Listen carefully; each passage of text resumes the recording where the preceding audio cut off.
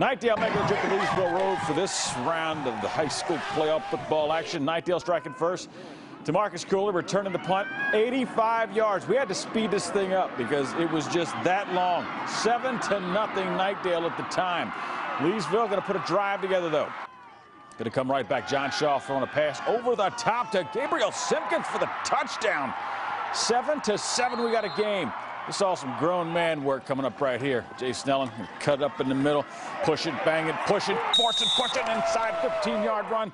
Leesville up 14 to 7. Then it's DJ Scott with a power run up the middle for the touchdown, making it 21 to 7. Leesville wins this thing 28 to 7.